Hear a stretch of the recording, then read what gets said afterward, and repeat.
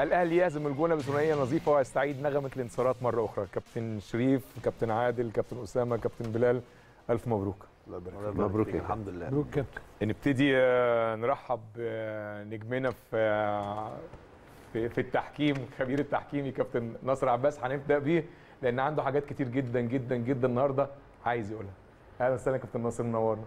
آه، تحياتي كابتن نايم وتحياتي لكل مشاهدي ومتابعي قناة النادي الأهلي في كل مكان.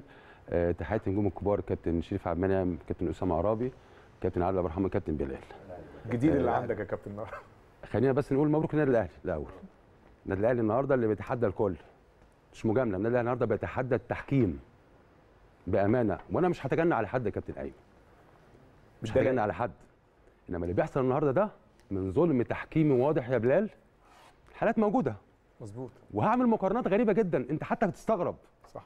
لما انت النهارده ركله جزاء صحيحه مليون في المية نتيجة الدفع يا أسامة. من الخلف وهي هي الحالة في الدقيقة 70 ما حسن بتحسبش هنا وبتحسب هنا. صح.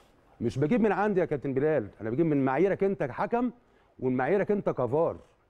اللي بيحصل النهارده كابتن أيمن ده يعني النهارده النادي الأهلي النهارده أنا بقول النهارده بيتحدى الجميع. مظبوط. بيكسب فوز مستحق عن جدارة بلاعيبته. ولكن لحد إمتى التحكيم يا كابتن النهارده؟ هيقف قدام النادي الأهلي. السؤال إحنا مش بنطلب غير حق النادي الأهلي. صح. وأي نادي النهارده ليه حق ياخده. ولكن ما حدث من الفار النهارده من عدم التدخل في ركلة جزاء حسام حسن لابد أن يسأل عنه. من يحاسب الحكام؟ من مسؤول عن الحكام يحاسب الحكام؟ كابتن عن أخطاء الحكام. النهارده النادي الأهلي بينافس الزمالك بينافس. لابد النهارده يكون كل واحد يعرف هو فين.